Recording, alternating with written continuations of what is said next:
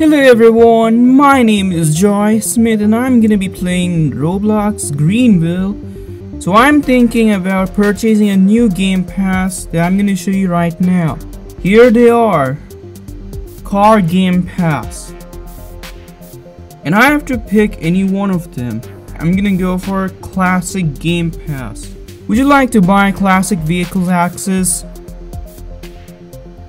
Yes, Okay, so I'm to show you what this classic Game Pass looks like with classic cars. Let's get into it. Alright, I have entered inside the dealership and I'm to show you what car should I buy in this Greenville game.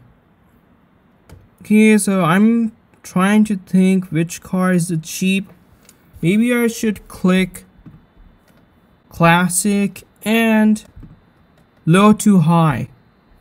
Then I can see which car that I can drive for classic game pass I think I should go for this one this would be good for driving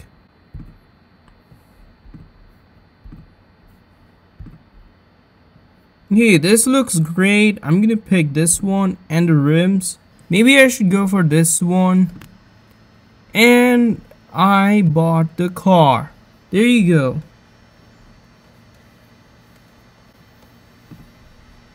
So let's make a test. So what I have to do is to drive a classic car game pass. There it is, my new classic car.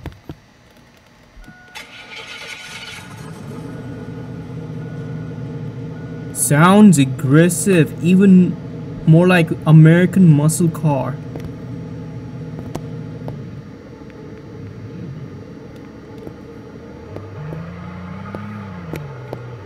I mean, I like this kind of features, American style of driving.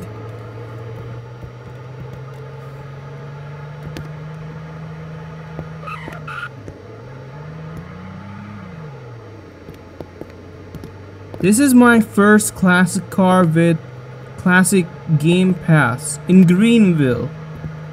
I mean, this looks great. I know it's not good in driving because it doesn't have high performance motor. It's just a stock classic motor that I picked it but it's fine. I spent for like $16,000 I just have to keep driving around you know. It's a good classic Game Pass car but it doesn't have any interior. It's just a you know model shaped like that but no interiors were added. It's just a basic I know this car sounds like American Muscle, but it still works in a normal vase.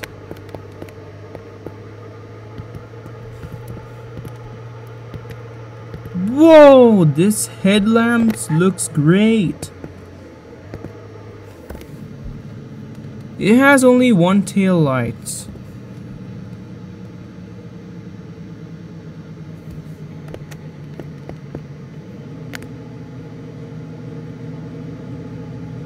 I like this kind of classic details.